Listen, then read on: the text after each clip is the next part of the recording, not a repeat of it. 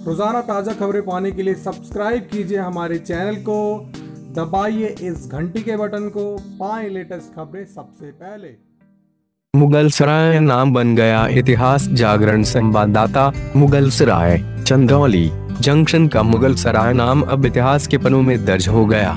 गुरुवार से जंक्शन पर जगह जगह डिस्प्ले बोर्ड से मुगल सराय का नाम मिटा दिया गया। रेल प्रशासन ने एक साथ सभी स्थानों पर जंक्शन का नाम पौन दीनदयाल उपाध्याय जन, लिखने की तैयारी पूरी कर ली है। इस बदलाव की चर्चा रेल यात्रियों के साथ पूरे नगर में रही। दिल्ली हावड़ा रेल रूट के सर्वाधिक व्यस्ततम रेलवे स्टेशनों में शुमार मुगल सराय जंक्शन पौन दीनदयाल उपाध्याय नगर के नाम से जाना जाएगा। इस स्टेशन से रोज़ाना लाखों की तादाद में यात्री सफ़र करते हैं। अभी तक मुगल सराय नाम लोगों के दिल व दिमाग में रचा बसा था। आधिकारिक तौर पर राज्य सरकार ने पिछले महीने ही नाम बदलने की अधिसूचना जारी कर दी थी।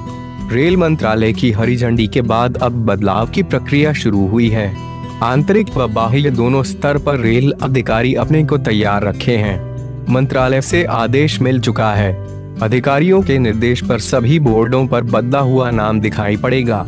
बदले हुए नाम का मॉडल हदी, अंग्रेज़ी व उर्दू में पहले ही तैयार कर लिया गया है।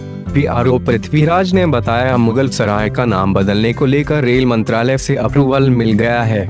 बहुत जल्द ही तिथि तय करके नाम बदल दिया जाएगा। एक हज़ार आठ सौ बासठ में अस्तित्व में आया मुगल सराय जंक्शन। नाम मुगल सराय जंक्शन महत्वपूर्ण रेल मार्गों का संगम है। इस कारण भारत के व्यस्ततम स्टेशनों में शुमार है। यह उत्तर भारत को पूर्वी व पूर्वोत्तर भारत से जोड़ता है। यही से ग्रैंड ट्रंक रोड वर्तमान राष्ट्रीय राजमार्ग संख्या दो, जिसे शेर शाह सूरी ने सड़क के आज़म कहा था, इस शहर के बीच से गुजरती है। इसी तरह मुगल सराय से हावड़ा की तरफ़ जाने वाली रेलवे लाइन को भी ग्रैंड कार्ड लाइन बोला जाता है। मुगल सराय स्टेशन का निर्माण एक हज़ार आठ सौ बासठ में उस समय हुआ था, जब ईस्ट इंडिया कंपनी हावड़ा व दिल्ली को रेल मार्ग से जोड़ रही थी। मुगल सराय गया रेल खंड वर्ष 1900 में। मुगल सराय इलाहाबाद रेल खंड वर्ष अठारह में व मुगल सराय वाराणसी रायबरेली रेल खंड वर्ष अठारह सौ अठानवे में अस्तित्व में आया। हालाँकि मुगल सराय जंक्शन वाराणसी से एक में ही जुड़ गया था। प्रसिद्ध grand chord Mughal Sarai station से प्रारंभ होता है।